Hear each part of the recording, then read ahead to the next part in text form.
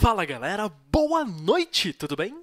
Aqui é o Matias pela Defesa da Liberdade e hoje eu vim trazer uma leitura muito divertida para vocês sobre capitalismo, trabalho e direitos trabalhistas. O artigo é um artigo, né?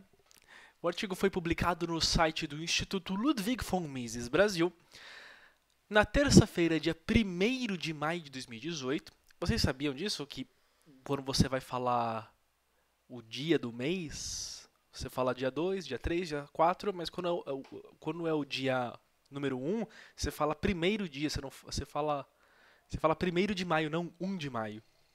Curiosidade, curiosidade. 1 de maio de 2018 foi publicado esse artigo no Instituto Mises. Foi escrito por Julian Adorney. E é uma leitura sobre capitalismo e sobre jornadas de trabalho. Eu vou começar a leitura e no final, como sempre, eu faço os comentários. Agradeçamos ao capitalismo pelo fim de semana, pelos feriados e pela redução da jornada de trabalho. Esse é o título. Recorrentemente, vemos políticos e pessoas clamando por novas leis que reduzam a jornada de trabalho. E, com efeito, quanto mais rico o país, menores as horas semanais que as pessoas querem trabalhar.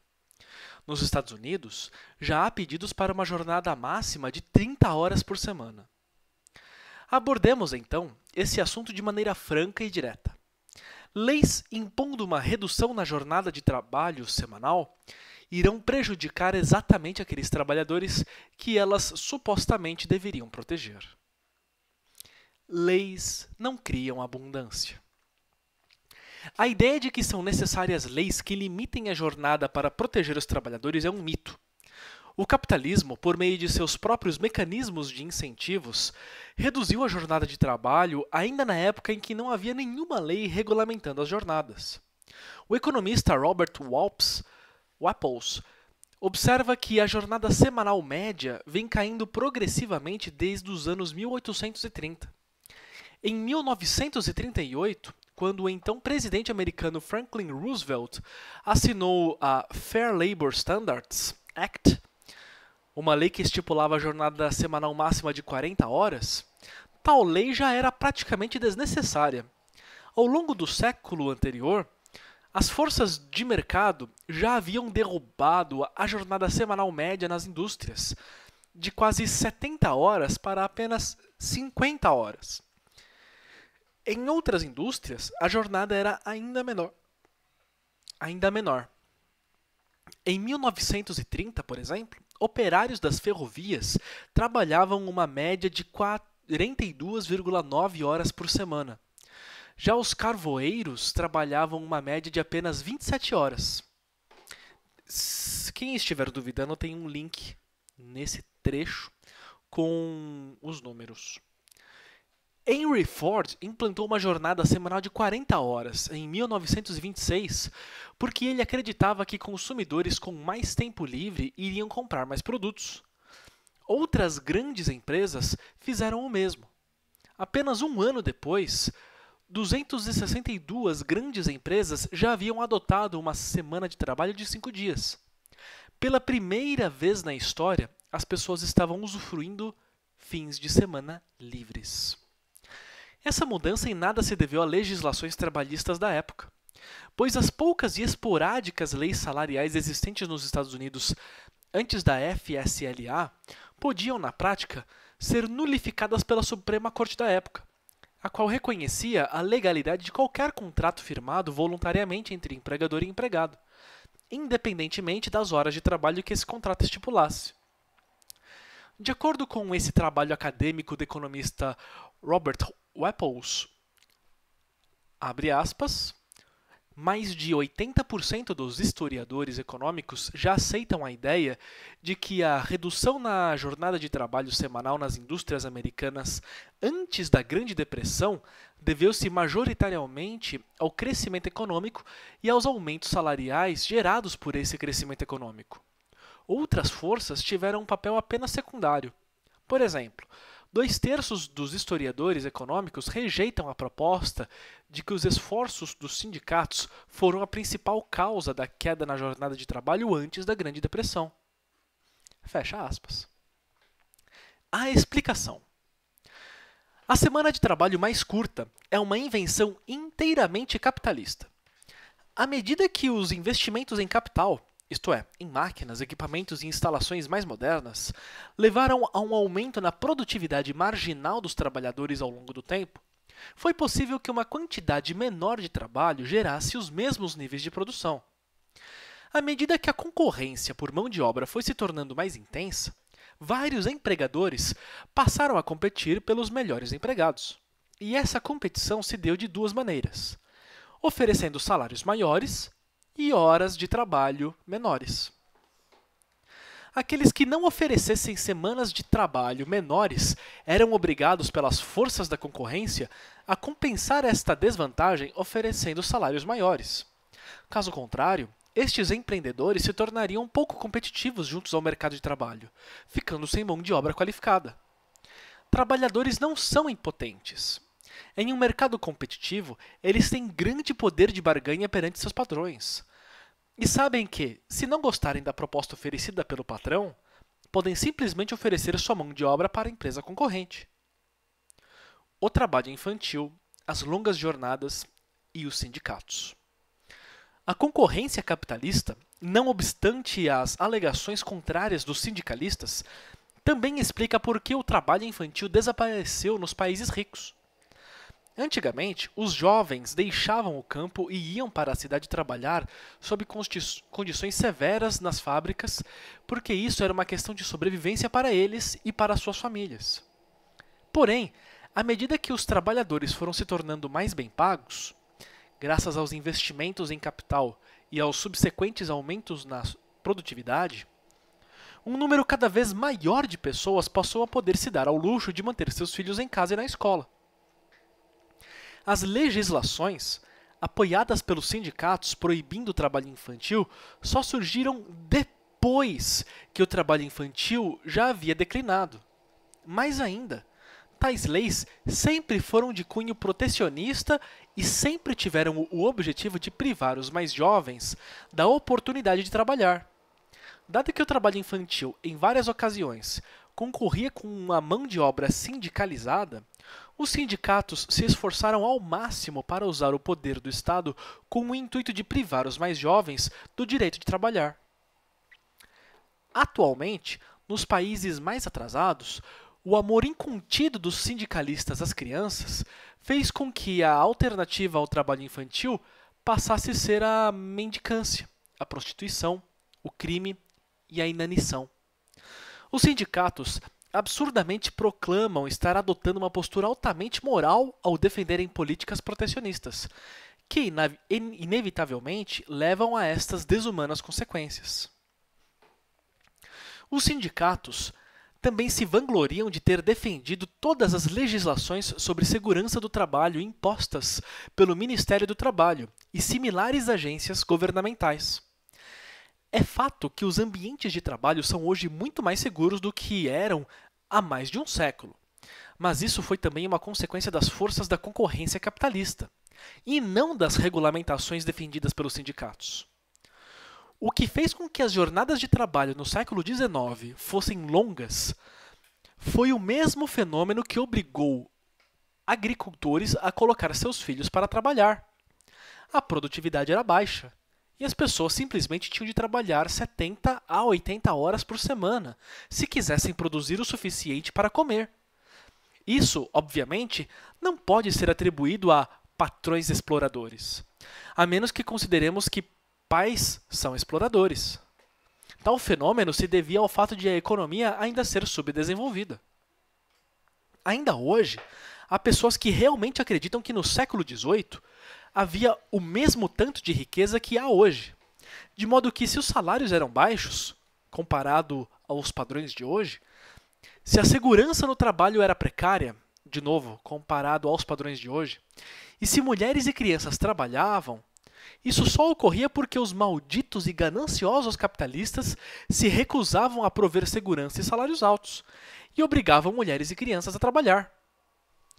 Tais pessoas realmente acreditam que bastava apenas um decreto governamental para que um trabalhador em 1750 gozasse dos mesmos confortos, segurança no trabalho e níveis salariais vigentes hoje. É inacreditável. Para quem está acostumado a todas as comodidades e confortos do século XXI, é claro que as condições de vida no século XVIII pareciam subhumanas. Falar que a qualidade de vida era ruim só nos séculos XVIII e XIX, tendo por base o século XXI, e daí tirar conclusões, é impostura intelectual. Ignora toda a acumulação de capital que ocorreu ao longo dos séculos seguintes.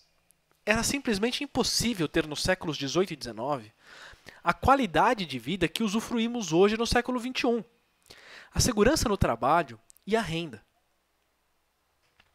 Naquela época, não havia a mesma acumulação de capital que temos hoje. A produtividade era menor, os investimentos eram menores, a quantidade e a variedade de bens e serviços eram menores. Era impossível ter naquela época a mesma quantidade de comodidades que temos hoje. Trabalhar muito e receber pouco não era uma decisão de capitalistas maldosos. Era a necessidade da época. Quem realmente acredita que era possível trabalhar seis horas por dia nos séculos XVIII e XIX e ainda assim viver bem, não entende absolutamente nada de economia. Tal raciocínio parte do princípio de que vivemos no jardim do Éden, que a riqueza já está dada e que tudo é uma mera questão de redistribuição. À medida que a produtividade e, consequentemente, os salários foram crescendo, os trabalhadores foram se tornando aptos a viver à custa de menos horas de trabalho, o que deu a eles um incentivo para barganhar, de maneira bem sucedida, como podemos te testemunhar. Jornadas semanais menores. E por que a queda não continuou? Mas então, se a exploração não está conseguindo manter a jornada de trabalho longa, por que ela não continuou diminuindo desde 1938? Um fator é que os salários estão subindo, contrariamente à alegação dos progressistas, o que aumenta o custo de oportunidade de não trabalhar. Os trabalhadores estão optando por trabalhar mais e comprar mais bens do que ter mais tempo livre. Salários crescentes fazem com que a hipótese de se trabalhar mais horas seja mais atrativa. Outro fator é que, no mundo, sub, no mundo desenvolvido, a jornada semanal já está de fato diminuindo, só que por decisão voluntária dos patrões. Empresas como a Treehouse, do setor tecnológico, estão experimentando uma jornada semanal de 32 horas. Abaixo um gráfico que mostra a evolução do PIB per capita nos Estados Unidos. É, esse gráfico eu vou deixar para vocês olharem, é basicamente um gráfico em X. Continuando a leitura. Ou seja, leis que impõem uma jornada máxima aparentemente tendem a ser inócuas para os trabalhadores. Só que pode ser muito pior do que isso. Esse tipo de regulação, na realidade, prejudica a capacidade dos trabalhadores de ganhar um salário decente. Trabalhadores são pagos de acordo com o que produzem, de modo que, se não estão trabalhando e produzindo o suficiente, não há como eles ganharem o suficiente. Empresas não são instituições de caridade. Se um empregado produz 100, não há como ele ganhar mais do que 100. Leis que impõem uma jornada máxima reduzem a capacidade dos trabalhadores de aumentar seus salários, o que poderia ocorrer caso eles trabalhassem mais e produzissem mais. Isso é algo que os próprios sindicatos já haviam reconhecido. Terence Powderly, o líder do sindicato americano Knights of Labor, o maior e mais importante do país na década de 1880, afirmou que os trabalhadores não queriam jornadas menores se isso implicasse uma redução salarial. Mas foi exatamente isso o que as greves e as leis trabalhistas criaram. Populações ricas trabalham menos. Nos países ricos, em que os trabalhadores possuem uma grande quantidade de maquinários e bens de capital tecnológicos à sua disposição, tais trabalhadores tendem a ser mais produtivos. Sendo assim, eles podem se dar ao luxo de trabalhar menos horas. Já nos países ainda em desenvolvimento, que não usufruem de bens de capital abundante e de qualidade para seus trabalhadores, o que faz com que eles sejam menos produtivos, não há alternativa senão trabalhar mais para produzir o mesmo tanto que um trabalhador de um país desenvolvido. Essa tabela, essa tabela que mostra a quantidade anual de horas de trabalho por país de estudo. É, aqui tem uma lista enorme com países. E no topo tem México, Costa Rica, Coreia do Sul, quantidade anual de horas. E lá embaixo, no finalzinho, tem Holanda, Alemanha, Noruega, Dinamarca, França. E por aí vai. Menos trabalho não gera mais emprego. Um argumento sempre usado em prol da redução da jornada de trabalho é do que ela criará mais empregos. O argumento é o de que, se cada empregado tiver de trabalhar menos, os patrões serão obrigados a contratar mais apenas para manter toda a produção. Ou seja, se o patrão puder obrigar João a trabalhar 60 horas, ele fará isso. Mas se ele for proibido disso e João tiver de trabalhar apenas 40 horas semanais, então o patrão será obrigado a contratar mais uma pessoa para ajudar João. Só que tal raciocínio está errado por dois motivos. Em primeiro lugar, o trabalhador contratado para ajudar João não será tão eficiente quanto João. Afinal, se ele fosse, então, por uma questão de lógica, o patrão já o teria contratado de qualquer maneira. Sendo assim, transferir parte do trabalho de João para esse recém-contratado fará com que a empresa seja menos eficiente. Isso pode significar preços mais altos, menor produção, menos capacidade de investimento e expansão, ou todos os três. Em segundo lugar, essa medida serve apenas para ajudar os desempregados à custa dos empregados. Se João quisesse ou necessitasse de trabalhar mais horas, azar o dele. Ele acabou de sofrer um corte salarial de 33% para que o outro pudesse ser contratado. Desnecessário dizer que, se o governo impuser uma redução da jornada e, ao mesmo tempo, proibir reduções salariais, o resultado será o desemprego, vide a França, e a estagnação. Com menos produção e mais custos, não haverá muito dinheiro para as empresas fazerem novos investimentos e se expandirem. Conclusão: se o objetivo é criar empregos, há melhores alternativas do que jogos de soma negativa que punem tanto trabalhadores quanto empresários. Apenas para ficar claro, uma jornada semanal de 30 horas em países ricos e de 35 horas em países em desenvolvimento não é impossível e nem mesmo é indesejável. Mas se o objetivo é ajudar os trabalhadores, a melhor alternativa é deixar que cada um decida o melhor para si, e não políticos. E essa é a leitura. Ou seja, o que é que a gente está vendo aqui? São duas coisas principalmente que eu gostaria de pontuar.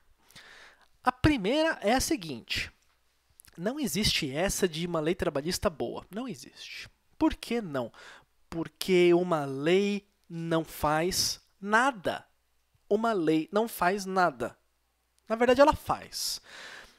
Mas a lei ela não faz nada bom por si só. Como assim, Matias? Que papo exagerado é esse? Seguinte: matar é errado, certo? Certo.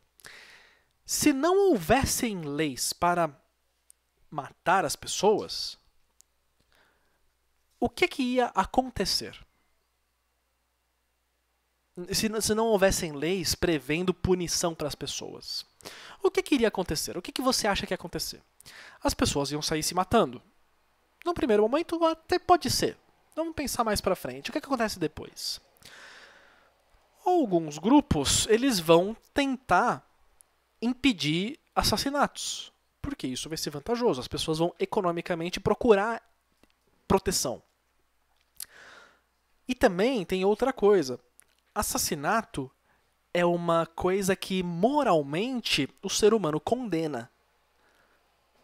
Você não precisa ser um padre ou um cara super devoto a Deus ou um cara do bem para você não gostar de assassinato. Mesmo que você seja um cara ruim, mal, um traficante, por exemplo, você não ia gostar de ver pessoas que você gosta assassinados. Você simplesmente não iria. Ou seja, e, e, aqui eu tô, eu tô pensando muito no livro do Hoppe, O que Deve Ser Feito, que no começo ele fala sobre emergência de ordem e segurança. O que, que eu estou falando? A gente não precisa de leis para impedir o assassinato. Não são as leis que impedem o assassinato, ou pelo menos não diretamente.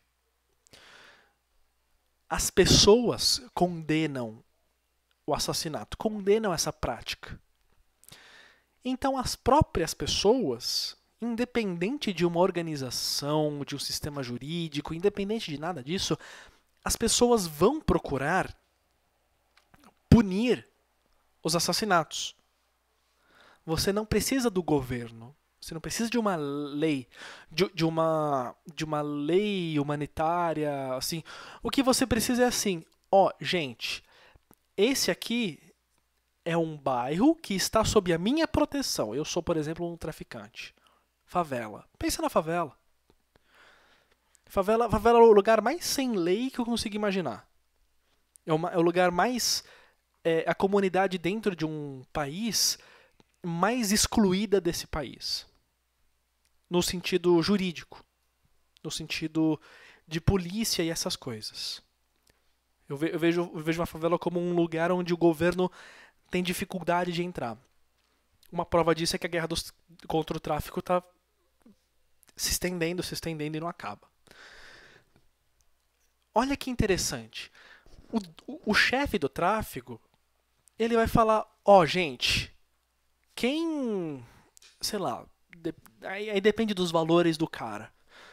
Mas o cara pode falar assim, olha, quem quem quem estuprar a mulher de outro cara ou quem estuprar uma menina, eu vou meter bala.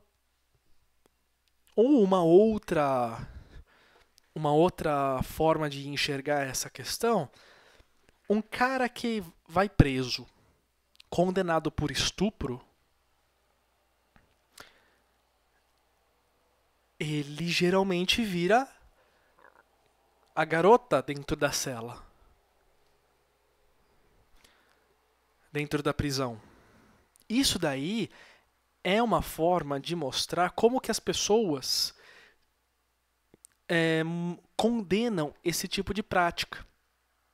Por causa disso, elas criam as leis. Mas vocês percebem que a lei ela é um fenômeno secundário, é uma consequência do valor moral das pessoas. Não é ela que molda o valor moral. Então, tudo isso eu estou falando para quê? Eu estou falando o seguinte: se eu baixar um decreto governamental falando, olha, está proibido o trabalhador receber menos de 5 mil reais por mês, primeiro,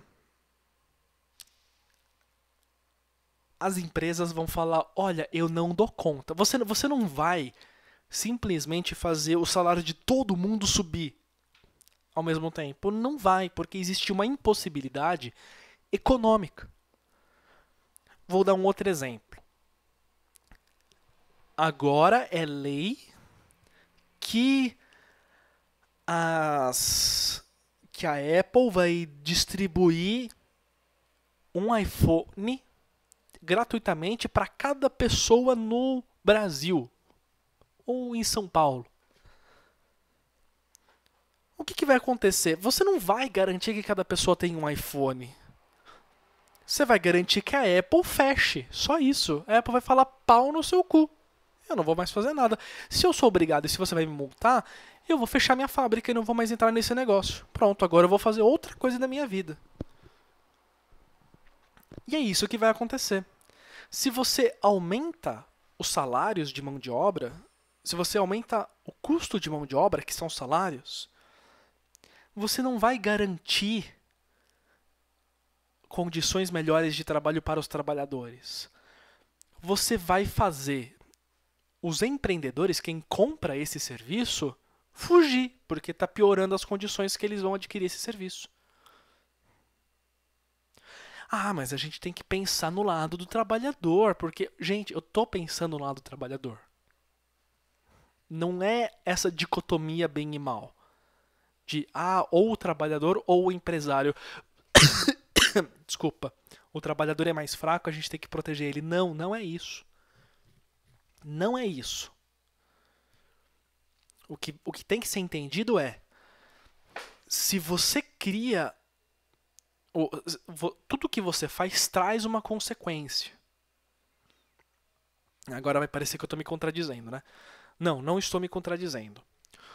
Se você passa uma lei que piora as condições de um lado para o negócio, menos pessoas vão querer adotar aquele lado. Se menos pessoas vão estar naquele lado, o cara que está do outro lado vai ser obrigado a vender o que ele quer por um preço menor, porque tem menos pessoas querendo comprar. Você tem um cara querendo comprar e um cara querendo vender. Se você fala, ó, oh, agora você vai ter que comprar a um preço maior, vai ter menos pessoas querendo comprar. Se tem menos pessoas querendo comprar, agora a demanda diminuiu. Agora tem menos pessoas querendo comprar. Então agora as pessoas que estão vendendo vão ter que vender por um preço menor. É o oposto do que você queria. Você queria fazer as pessoas venderem por um preço maior. Você tentou obrigar isso por uma lei e o objetivo foi exatamente o contrário.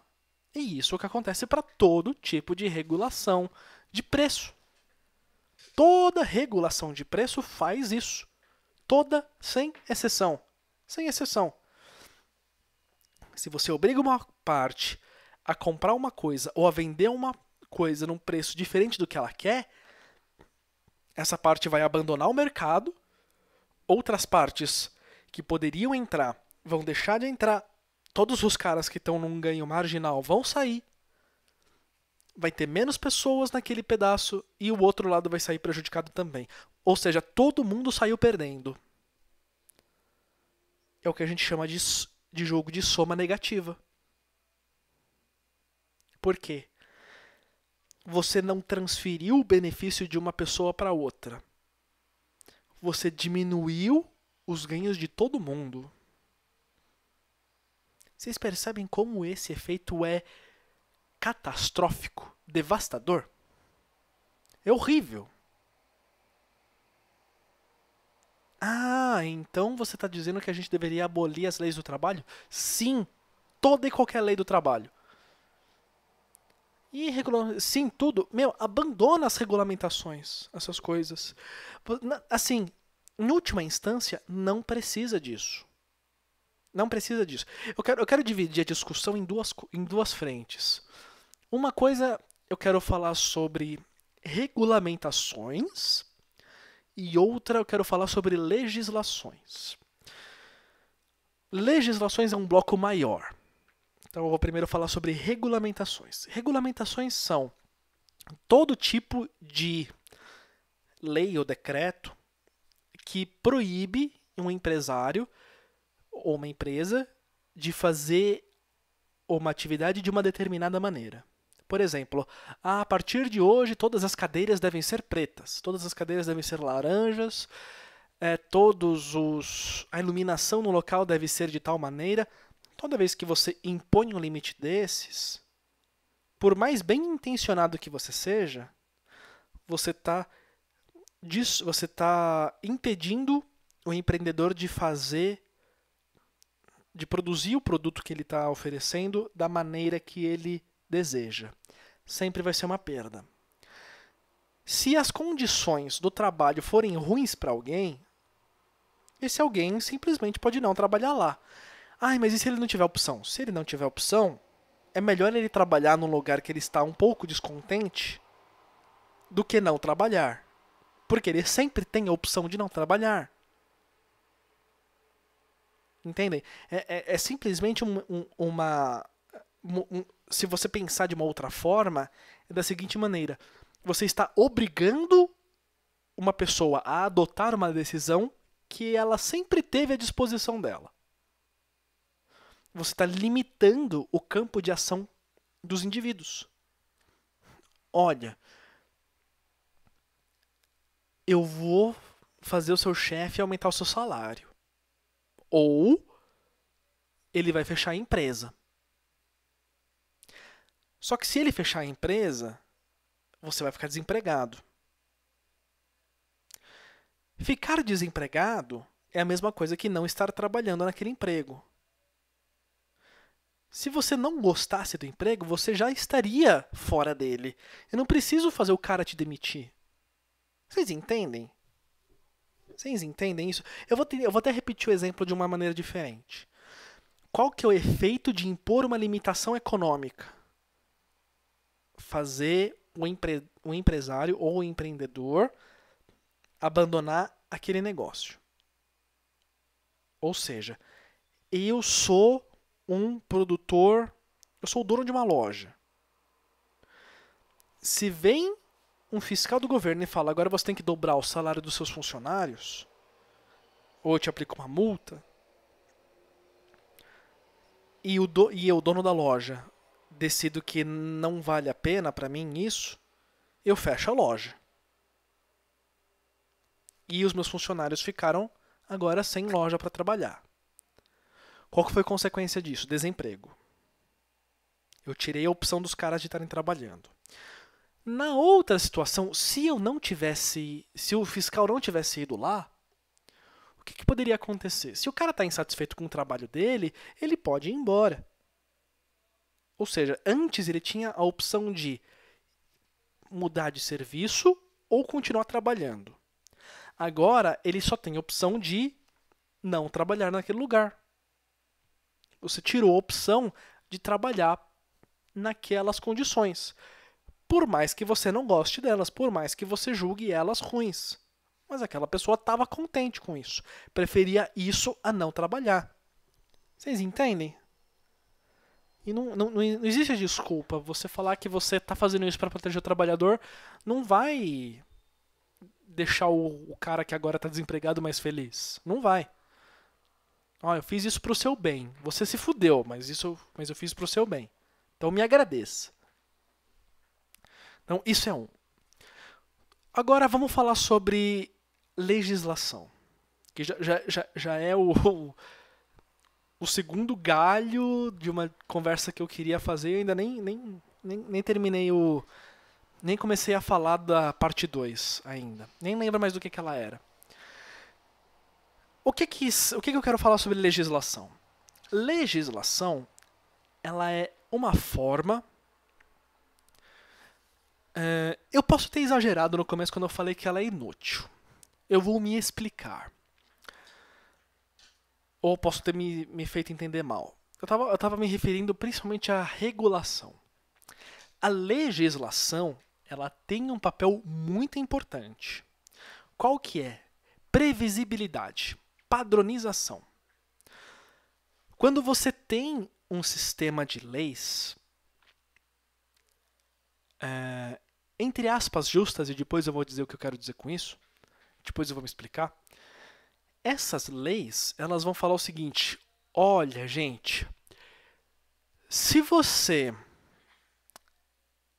é, tentar passar a perna em alguém, as consequências vão ser estas. Se você tentar roubar de alguém, as consequências vão ser estas. O que é que isso faz? Um, isso estimula todo mundo. E, isso primeiro deixa explícito para todo mundo o, qual, o que estava em jogo, o que está em jogo. Deixa bem claro quais são os custos de fazer, os custos e os riscos de fazer uma atividade condenável. Por exemplo, roubar, estuprar, matar. Então, ó, se você fizer tal coisa, você vai sofrer uma penalidade, a penalidade é essa. Então, primeiro, o cara que vai cometer o crime, ele já fala, ih, bom, se eu fizer, é bom que, é bom que não me peguem, porque eu não estou afim de cumprir essa pena. Nisso daí, uma parte já das pessoas que poderia agir de má fé, já vai se desmotivar. Já vai preferir um caminho diferente. Quando você tem previsibilidade, você tem menos variáveis para você trabalhar, certo? E o que é que o empresário e o empreendedor gostam? De um ambiente previsível, porque eles conseguem calcular custos, calcular prejuízos, eles não precisam se arriscar de muitas maneiras, eles ficam com um risco mais econômico, menos jurídico e por aí vai. Então isso é ótimo para atividades empreendedoras e econômicas. Isso deixa o ambiente melhor. E as leis econômicas, elas surgem, digo, não leis econômicas, mas leis de mercado, a lex mercatória, ela surge dessa forma. Grupos de mercado, indivíduos agindo no mercado, eles vão criando essas, regula essas legislações privadas. Isso acontece de forma que as regras do jogo começam a ficar claras porque isso é vantajoso para todo mundo. Eu não quero ficar lidando com a, incer com a incerteza. Sabe quando você. E assim, isso é um processo de tentativa e erro. Você não sabe qual que é a melhor lei, a melhor forma de resolver um conflito. E você ir para um tribunal é justamente isso, você resolver um conflito. Então, você, é um processo de descoberta. Qual que é a melhor forma de resolver um conflito entre patrão e empregado? É dando sempre a razão para o empregado? Se você faz isso, vai começar a faltar patrão. E aí, os empregados não vão ter quem pagar o salário deles. E aí eles vão se ferrar também. E aí tem um monte de gente que gostaria de estar tá abrindo empresa para gerar produtos, para gerar riqueza, oferecer produtos e serviços que não vai estar tá entrando, porque, meu, que lei doida é essa que vai estar tá sempre contra mim? Meu ganho vai ter que ser muito superior para compensar isso daí. Então eu só vou entrar se for muito bom. Então esses são os problemas que acontecem. Legal. Leis surgem espontaneamente por causa disso. As pessoas querem combinar as regras. Ó, oh, se acontecer isso, a gente vai resolver dessa maneira. Beleza. O que, que isso faz? Agiliza custo de negociação, agiliza decisões por arbitragem. É ótimo isso. Isso é muito saudável. O que não é saudável é vir um cara e falar: olha, a partir de hoje vocês vão ter que fazer produtos e serviços desta maneira, com base nestes critérios. Não importa quais são os critérios, se os critérios são bons ou ruins. Importa que você está colocando uma restrição. Você está tirando o poder do consumidor de decidir o que o cara vai produzir. Com, com que qualidade. Vocês conseguem enxergar isso dessa maneira? Isso, isso deu o mais importante. Vamos agora para a segunda coisa que eu gostaria de pontuar, que eu nem lembro mais qual que era. Então eu vou falando uma coisa que eu pensei agora eu espero que seja a mesma que eu tinha pensado antes. Sindicatos e, e assim, todo mundo aqui, e, ó, e não era nem era isso que eu ia falar. Mas esses sindicatos, eles adoram falar, olha, a situação melhorou por causa da gente. Então eles não têm a capacidade, até de acordo com o que a gente acabou de conversar, eles não têm a capacidade de melhorar as condições de vida das pessoas. O que que tem essa capacidade? Produtividade, capital, investimento. O máximo que esses sindicatos conseguem fazer é fazer um aumento, um ganho marginal de produtividade. Mas esse ganho marginal só é possível se o mercado produz a produz riqueza suficiente para sustentar isso. Se não produz, a pressão do sindicato não vai surtir efeito ou vai fazer passar uma lei que vai prejudicar o empresário e o trabalhador e o consumidor. Os três.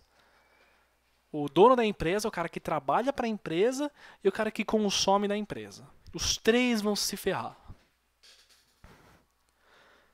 E isso é praxeológico, é dedutível. Não, não, tem como discordar disso.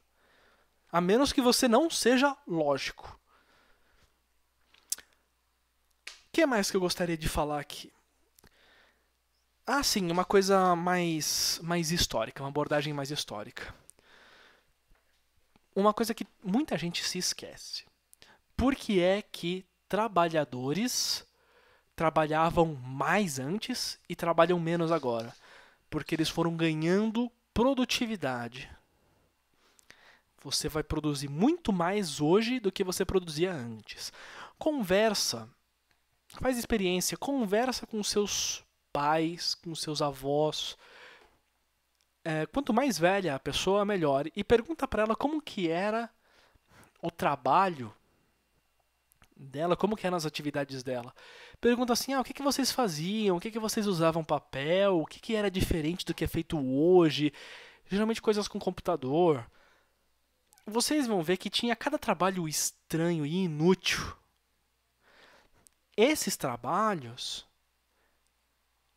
eles, eles eram pagos, eles eram feitos, alguém pagava para fazer essas coisas, mas você tá, mas hoje se resolveu essa essa atividade de uma forma mais fácil. No que que isso acarreta? Produtos mais baratos. Então assim, você demitiu um cara porque a atividade dele era era como é que fala? Desnecessária. Você deixou de pagar dois mil, 3 mil reais pro cara. Só que você consegue vender o seu produto um pouquinho mais barato. Uns 10 reais mais barato. Se você vende esse produto para 300 pessoas, por mês, a economia já está ganhando. É mais ou menos essa conta que tem que ser feita. Beleza, o corte desse funcionário impacta o preço como e quantas pessoas agora têm acesso a esse produto que não tinha, tem as pessoas que não tinham acesso e ganham e tem as pessoas que continuam comprando a um preço mais baixo ou um preço que não vai ser tão reajustado pela inflação, que é menos impactado. Na prática é a mesma coisa. Isso daí é um ganho. Isso daí é um ganho econômico.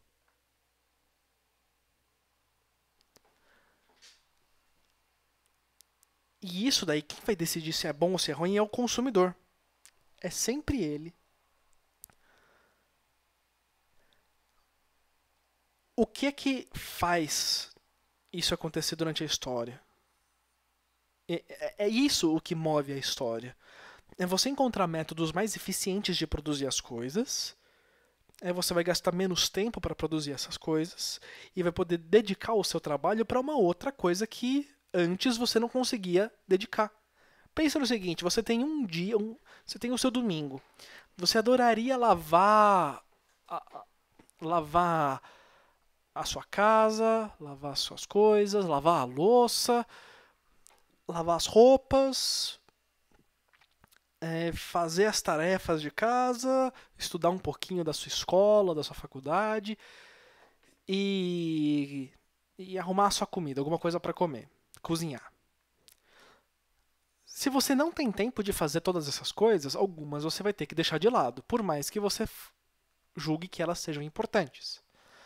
No momento que você encontra uma forma mais rápida, mais eficiente de fazer qualquer uma delas, Pode ser, por exemplo, comprando uma máquina de lavar, comprando uma máquina de passar, comprando um, alguma coisa, alguma comida que magicamente fica pronta, sei lá. Você tem, você passa a ter mais tempo para se dedicar às outras tarefas que você queria. E isso vai fazer o seu padrão de vida melhorar. Você não precisa mais gastar duas horas lavando louça. Você gasta 30 minutos e você tem uma hora e meia a mais para fazer o que você quiser, nem que seja dormir. Isso, mas isso vai trazer para você um padrão de vida melhor. Você tem uma hora e meia disponível que antes você não tinha. Isso é um ganho de produtividade. Essa hora e meia que você ganha a mais. Isso é consequência da sua produtividade. E isso daí é um processo lento, não tão lento, mas é um processo histórico. É um processo que demanda tempo. Você precisa de investimento. Você precisa abdicar de consumo para trabalhar numa solução que vai melhorar a sua produtividade, para implementar, e aí ela vai passar a ter efeito. E aí você vai poder usufruir dos benefícios. Quando você poupa mais, quando você consome menos, você tem mais capacidade de investir. Você tem menos necessidades para satisfazer, porque você consome menos. Então você precisa produzir menos para satisfazer essas menores necessidades. Então, ao invés de produzir, você pode investir, construir soluções novas. Essa é a lógica do investimento e da construção de capital. Era essa a segunda, a segunda coisa que eu queria comentar. Essa, essa lógica de construção de capital. Isso daí, quem só proporciona é capitalismo, porque ele dá um prêmio para você ser mais eficiente. Ele te dá um prêmio. Se você é mais eficiente em outros sistemas, como, como socialista, você não ganha nada. Você não precisa, você não, você não ganha nada por ser mais eficiente. Você não ganha nada por ter mais tempo livre. Você vai ter que ir lá dedicar suas horas de trabalho pro, pro sistema, pro Estado, de qualquer jeito, para cumprir sua cota de trabalho. E se você tiver trabalho disponível, você vai ser alocado num outro lugar. Não depende de você. No capitalismo depende. Você escolhe. Então, a discussão que eu queria trazer é essa. Espero que vocês tenham gostado, espero que vocês tenham se divertido, espero que vocês tenham aprendido, espero que vocês tenham se entretido e uma ótima noite para vocês.